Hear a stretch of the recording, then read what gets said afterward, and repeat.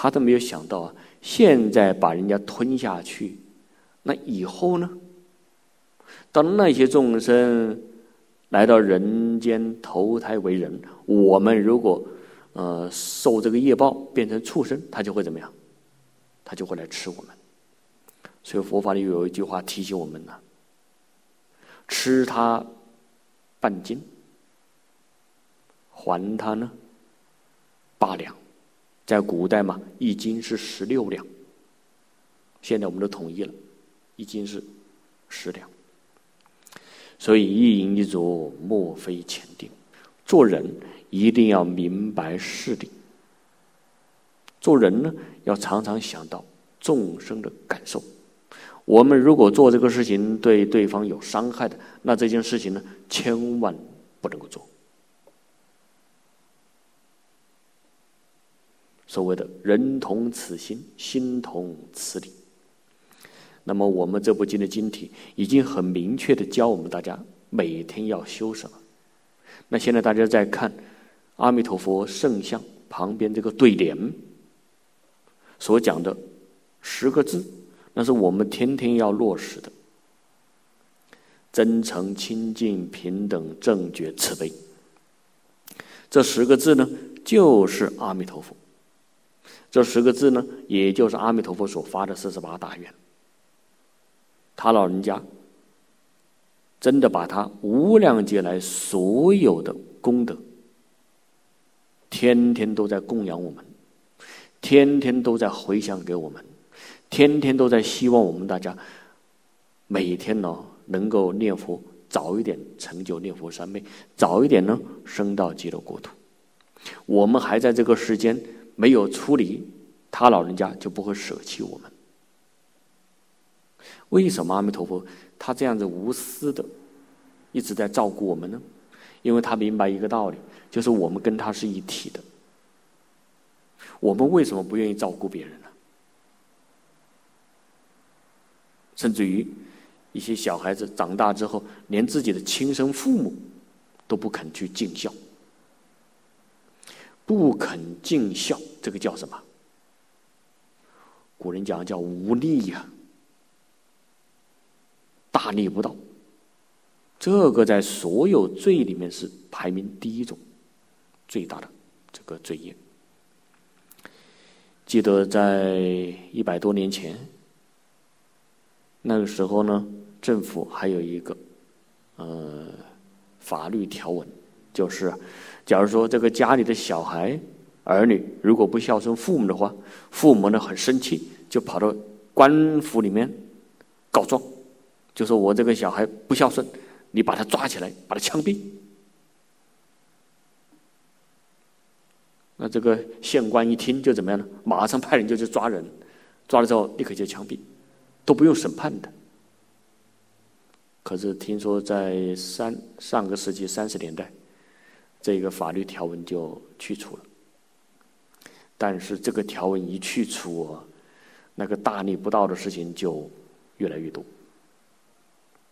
有这个条文呢，那些不孝顺的儿女呢，他至少还怎么样呢？还装一个孝的样子。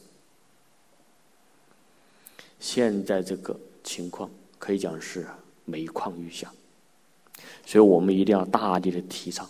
伦理教育、因果教育、道德教育。下面是啊，禅宗所讲的：宗门常云，参方须具参方言，看教须具看教言，是皆以言表般若之正见也。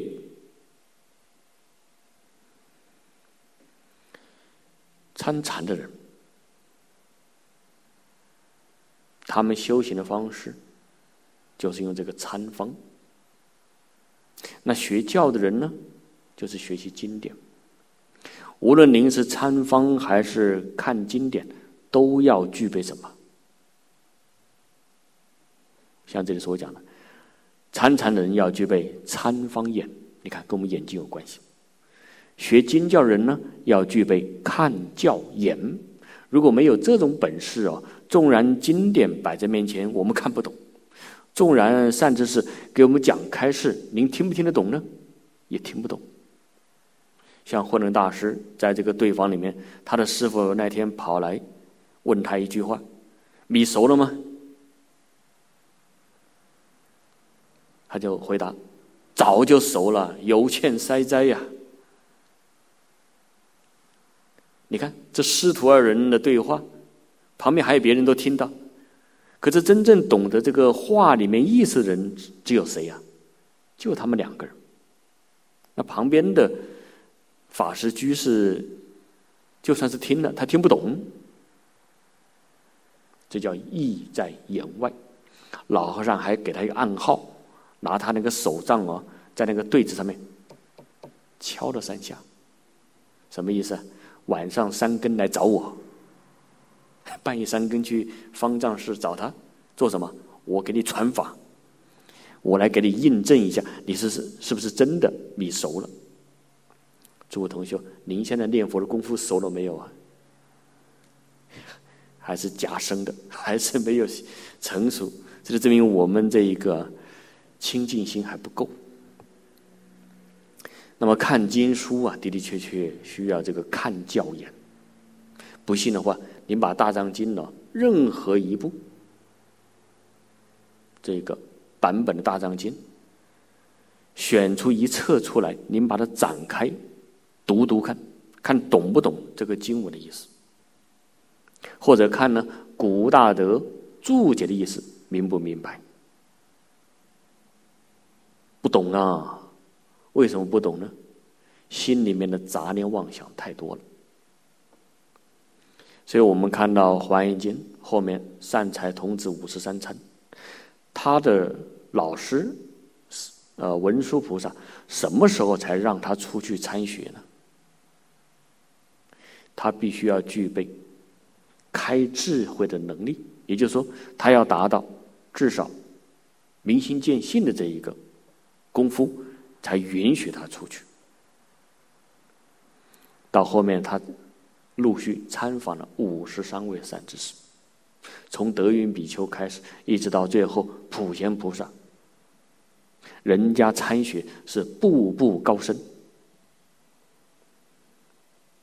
假如说这个善财童子他心不够清净，没有大智慧，他是不够资格出门的。他的老师对他负责任呐。那么到最后，善财童子也是发的跟他老师一样的心，求生西方净土。所以说，这个眼非常重要。